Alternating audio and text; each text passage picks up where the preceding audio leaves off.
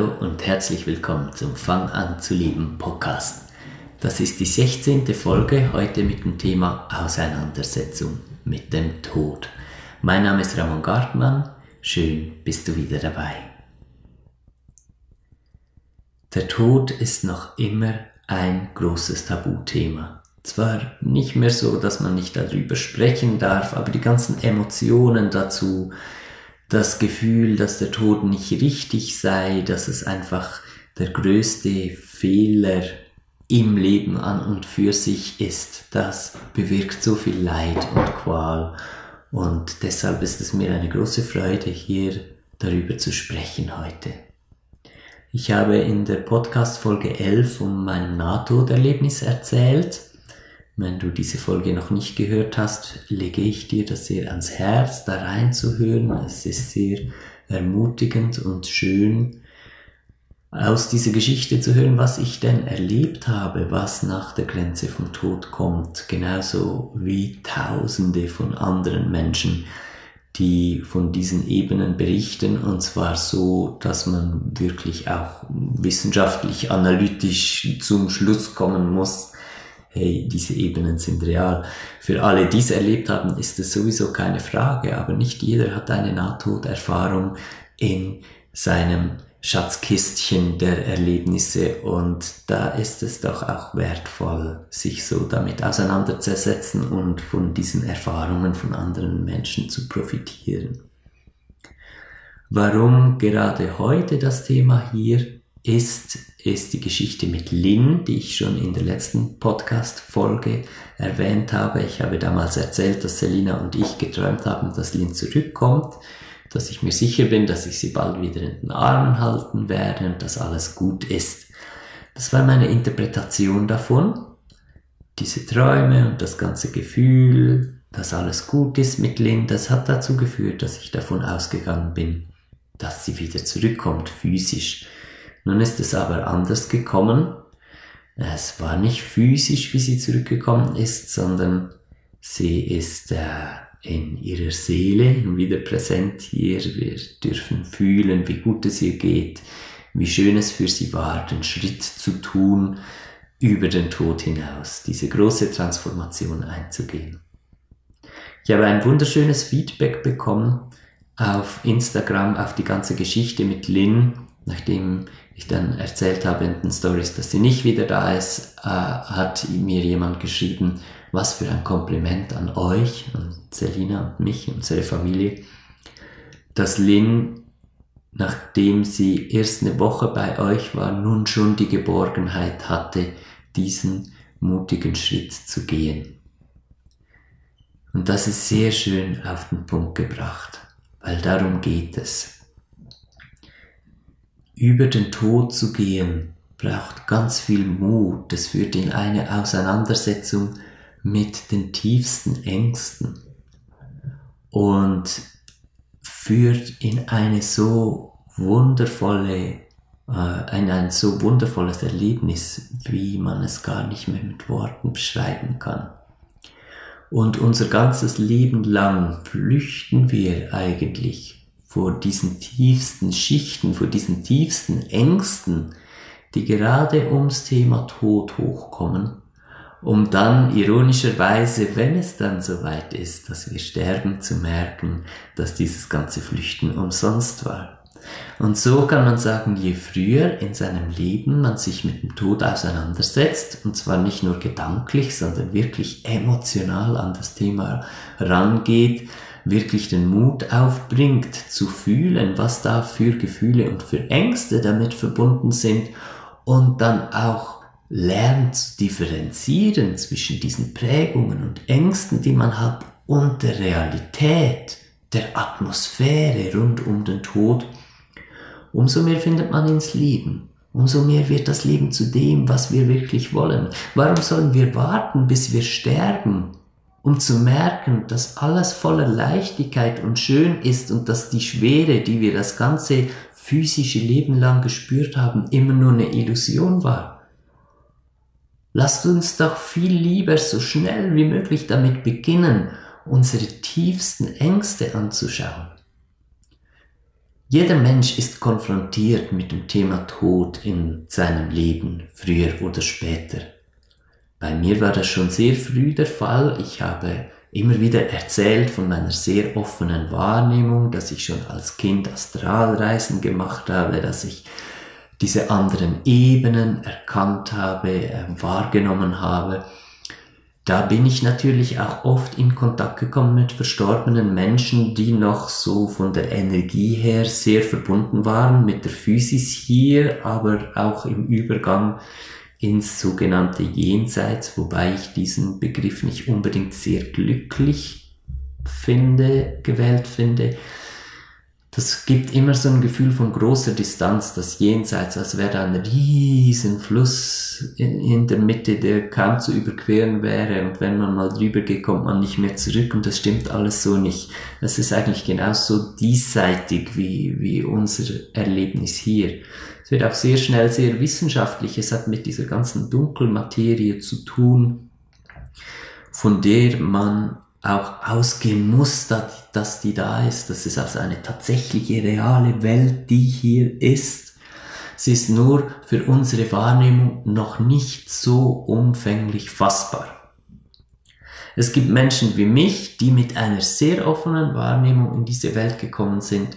Wir sehen diese Energien, wir können mit verstorbenen Menschen sprechen, wir äh, nehmen die Spirits an unserer Seite ganz stark und klar wahr. Wir, wir kennen die verschiedenen Dimensionen von, von Existenz. Aber nicht nur Menschen mit einer so stark geöffneten Wahrnehmung haben, haben Erfahrungen mit diesem Jenseits, was eigentlich ein Diesseits ist, sondern auch du. Jeder einzelne Mensch kennt zum Beispiel gerade um das Thema Tod herum die Erfahrung, dass wenn ein geliebter Mensch gestorben ist, dass da einfach Dinge geschehen nachher, wo man ganz klar spürt, hey, ich habe gerade ein Zeichen bekommen, dass diese Seele, dieser Mensch, den ich so geliebt habe, dass der immer noch da ist, einfach in einer anderen Form.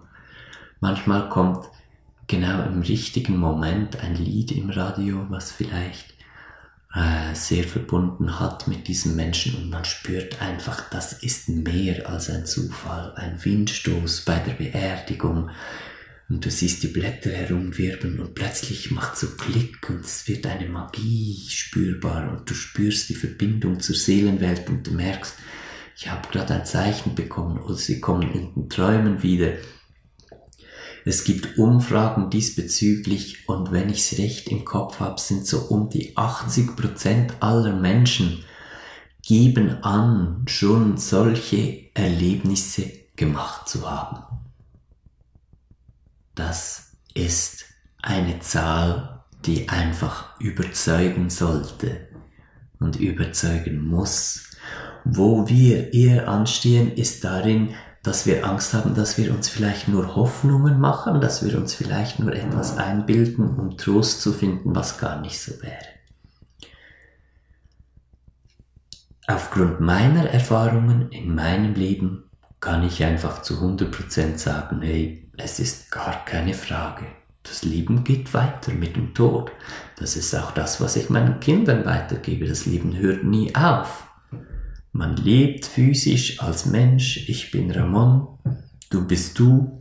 Wir leben dieses Leben, wir sterben, aber das Leben an sich hört nicht auf. Und es ist auch nicht plötzlich das Ich weg oder sowas, sondern das, was du als Ich empfindest.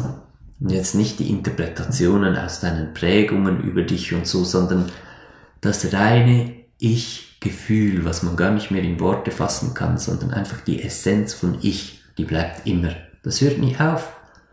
Und genau da liegen die größten Ängste.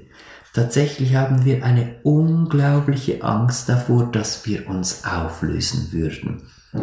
Und deshalb ist es so lohnenswert und gerade das Thema Tod ein so tiefer Türöffner, um dieser Angst einfach die Kraft zu nehmen.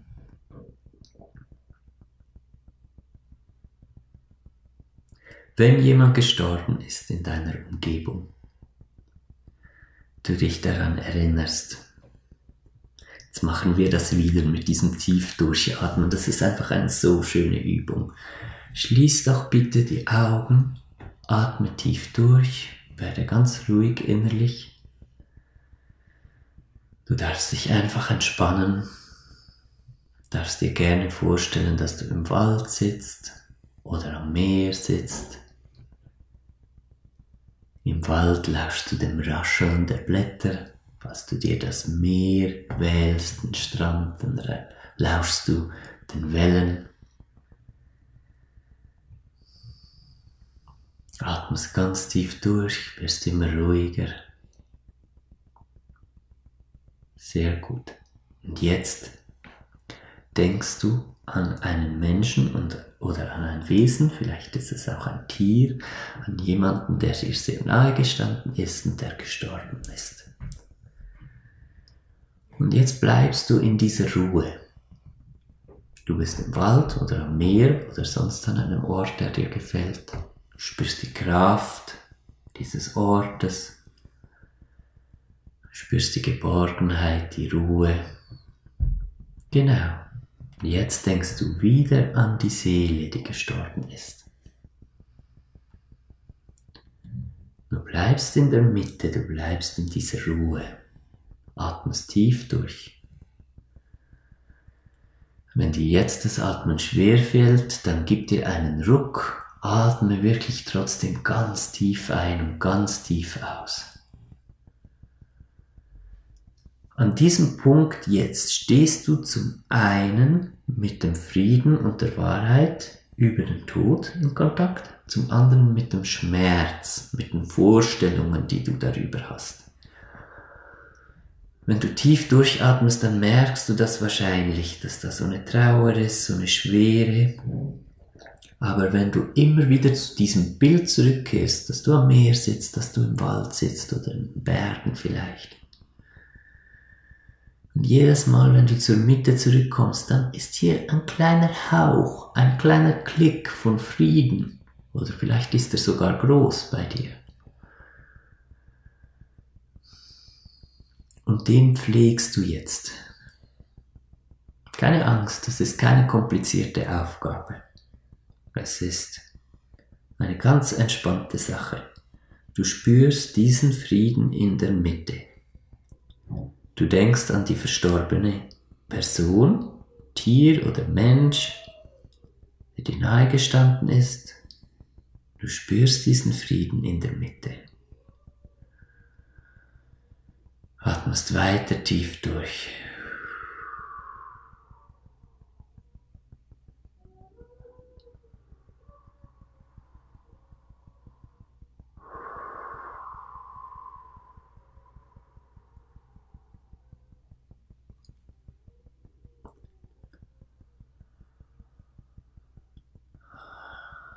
Wenn du tief durchatmest, dann spürst du im Atem immer wieder ein kurzes Stocken oder dass es mal schwerer wird, mal weniger.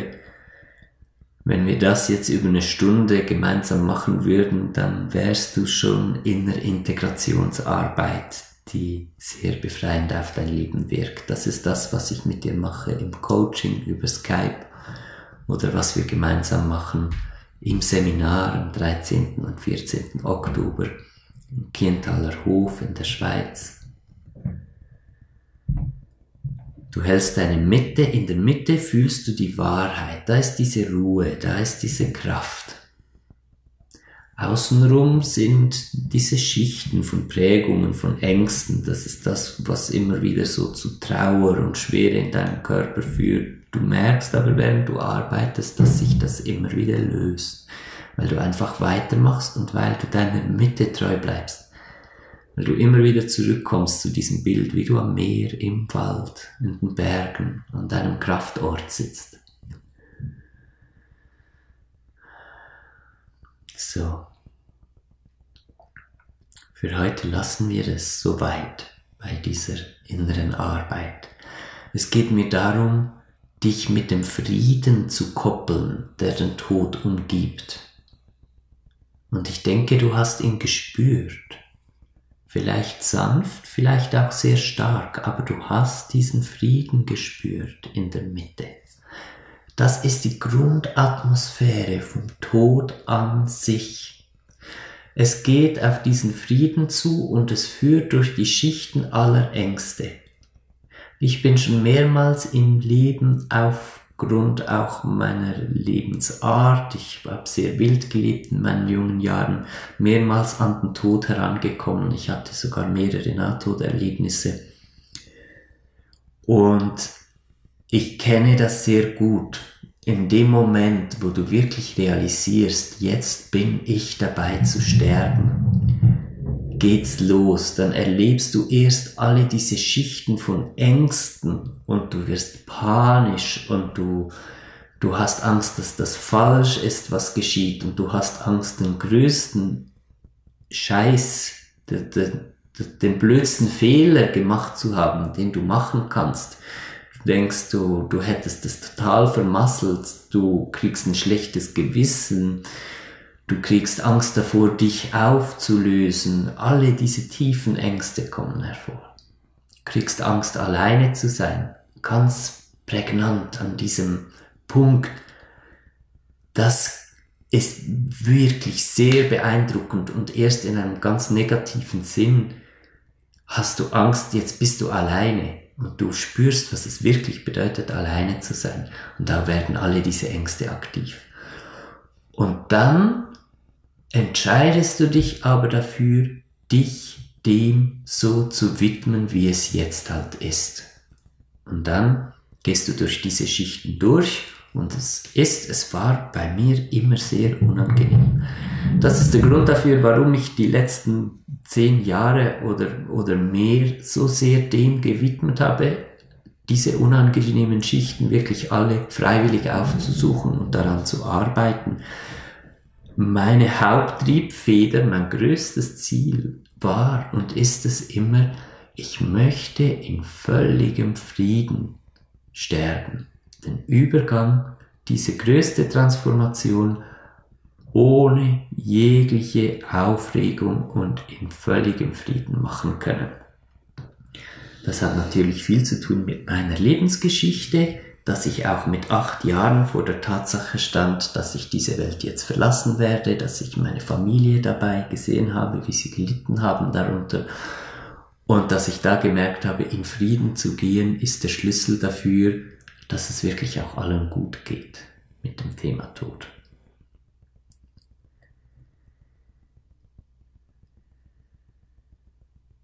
Somit ist der Tod an sich das vielleicht tiefste Werkzeug, um wirklich da arbeiten zu können, wo noch Vorstellungen vorhanden sind und Prägungen vorhanden sind, die nicht der Realität entsprechen.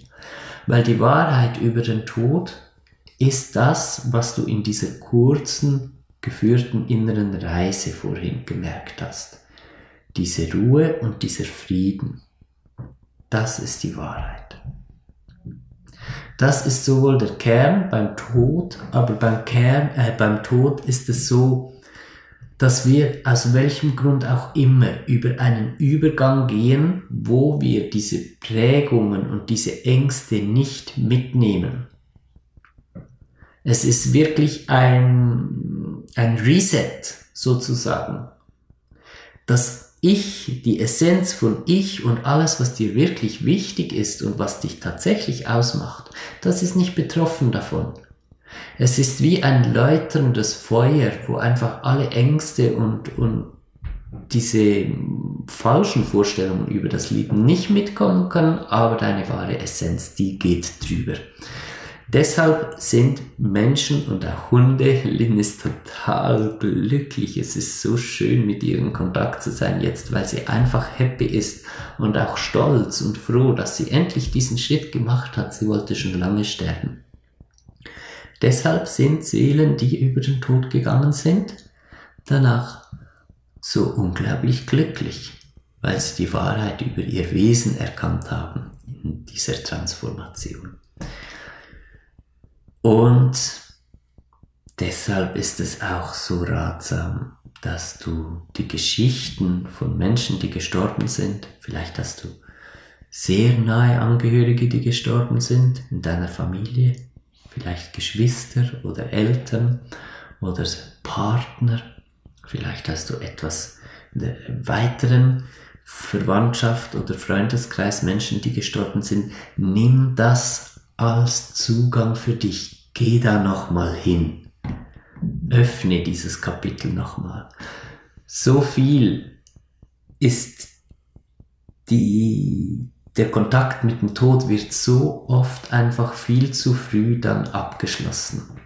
Ich kenne so viele Menschen, die nie durch den ganzen Trauerprozess hindurchgegangen sind, die nicht wirklich an den Punkt gelangt sind, wo sie vollumfänglich diesen Frieden wahrnehmen und fühlen konnten und das der Abschluss war.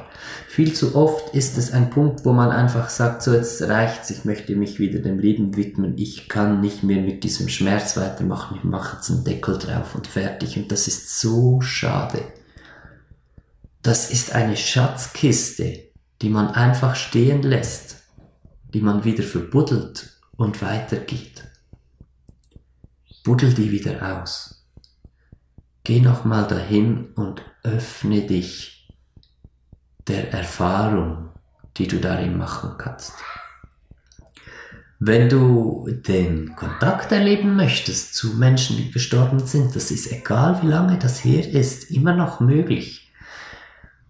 Es gibt eine ganz einfache Übung. Beispielsweise abends vor dem Einschlafen sagst du, lieber, weiß nicht, Hannes, Peter, wer auch immer es war, ich möchte gerne ein Zeichen von dir, ich möchte wieder in Kontakt mit dir sein. Und dann schläfst du ein. Und das machst du jeden Abend. Egal wie lange du das machen musst, ey, was ist das für ein Aufwand, abends einfach zu sagen, lieber verstorbener Freund, ich möchte gerne Kontakt zu dir. Das ist 10 Sekunden Aufwand. Und dann machst du das Tage, Wochen, Monate. Es wird funktionieren. In den allerseltensten Fällen dauert es Monate. Meistens ist es schon nach Tagen oder Wochen, wo du ein Zeichen kriegst, wo du in den Träumen anfängst, ja, an Orte zu gelangen, wo du merkst, hey, ich schlafe ja irgendwie gar nicht, irgendwie bin ich wach hier oder ein Zeichen kommt, vielleicht auch in einem normalen Traum, wo du dieser Seele eben begegnest. Und dann als nächsten Schritt, wenn du dieser Seele begegnet bist, sagst du dir am Abend vor dem Einschlafen, liebe verstorbene Person, ich möchte gerne durch den Zugang zu dir das Thema Tod für mich aufarbeiten können. Und dann wird sich zeigen, ob das im, im Rahmen deines Weges liegt, dass diese Person dich begleitet, ob das so passt. Und dann wirst du eine Antwort kriegen, du wirst es merken, dass da eine Begleitung gleich beginnt oder vielleicht wird dir auch jemand anders äh, vorgestellt, sozusagen wirst du zu jemand anderem geführt, der dich da begleitet. Das sind so Kleinigkeiten. Wir sind manchmal viel zu kompliziert im Denken. Wir denken, oh, das Thema Tod, uh, da eine Auseinandersetzung, da muss ich jahrzehntelang tiefste Psychotherapie machen und da, das ist alles so schwer und so. Aber es geht ganz einfach. Einfach nur diese Bitte vor dem Einschlafen und schon geht's los. Den Einstieg wirklich in ein Leben, wo spirituelle Ebenen ganz normal und natürlich und pragmatisch mit ins Leben integriert sind, der ist ganz einfach. Und lass dich bitte auch nicht zu sehr beeindrucken von Menschen, die eine super offene Wahrnehmung haben, wo du dann denkst, ach, der Ramon oder was weiß ich wer, die sehen alles und ich kann halt das nicht sehen und dann, dann ist das Thema abgeschlossen. Du hast den Zugang zu einer ganz offenen Wahrnehmung. Es braucht einfach nur ganz einfach Impulse und der wird sich öffnen und der wird über Jahre wachsen und, und was du dir wünschst zu haben an, an Wahrnehmung, das ist möglich. Das ist ein Weg und du kannst den gehen mit ganz einfachen Schritten. Und lass dich auch nicht blenden, insbesondere in so spirituellen besonders in esoterischen Bereichen, sind ganz viele Menschen unterwegs, die haben noch Defizite, die äh, sind nicht so im Reinen mit sich, die fühlen sich selbst klein und, und hässlich innerlich und die gleichen das aus, indem sie sich groß hinstellen und bei denen klingt dann das auch immer so, als wäre das so kompliziert, weil sie müssen ja besonders sein und was sie können, das muss schwer sein für alle anderen. Braucht es auch wirklich ein achtsames Hingucken, wenn du Leute findest, die dich inspirieren, die von anderen Dimensionen und so erzählen da wirklich zu merken, hey, klingt das alles so, als, als wäre diese Person jetzt äh, der Superman persönlich und kein anderer könnte das und möchte der sich einfach präsentieren damit? Oder kommt das ganz einfach, logisch, verständlich daher, so dass man sagen kann, ach, das ist ja wie eins plus eins. Ich habe nur immer gemeint, das sei so kompliziert, aber es ist ja alles ganz einfach. Dann ist es ja, dann kommt es von jemandem, der wirklich von, von seinen inneren Prozessen her so weit ist, dass er oder sie das so transportieren kann, dass es ganz einfach wird, weil das ist die Wahrheit darüber. Ja, über das Thema Tod könnte man ein ganzes Seminar machen. Wer weiß, vielleicht wird das auch mal so kommen. Es ist ein wundervolles Thema. Es führt durch die tiefsten Schmerzen, aber es führt ins tiefste Glück. Und ich empfehle dir wirklich von ganzem Herzen, damit tief in Kontakt zu kommen. Wenn du mir vielleicht eine Geschichte erzählen möchtest oder vielleicht auch was, was ich ähm, auf, auf dem sozialen Medien oder so irgendwo weiter posten könnte rund ums Thema Tod. Das wäre eine ganz schöne Idee. Dann schreibe mir doch an kontakt@fanganzuleben.com deine Erlebnisse mit dem Tod. Was hast du erlebt rund um den Tod? Hast du jemanden begleitet? Hast du Zeichen bekommen von Seelen, die verstorben sind? Und was hast du auf deinem Weg mit dem Thema Tod erlebt? Und ich würde das dann auf Instagram in den Stories so eine kleine Serie machen, wo ich diese Geschichten bringen würde. Oder wenn sie zu lang sind für Instagram Stories, vielleicht auch auf der Homepage. Ich, ich finde es auf jeden Fall, dieser Impuls ist jetzt gerade gekommen, aber ich finde den super. Bitte schreibt mir von euren Erfahrungen mit dem Tod ähm, auf kontakt.fanganzuleben.com. Lass uns dieses Projekt machen, das fühlt sich wundervoll an. Gut, das war's für diese Folge heute. Was ich dir für diese Woche mitgeben möchte, ist, mach doch diese Übung vor dem Einschlafen, dass du die Seele rufst von einem Menschen oder Tier, den du sehr geliebt hast, dass du damit in Kontakt kommen möchtest und das ist auch schon alles lassen wir es so einfach, denn wie gesagt, es ist so einfach. Ich freue mich schon auf die nächste Folge. Bis dahin wünsche ich dir eine gute Woche und bis bald. Bye bye.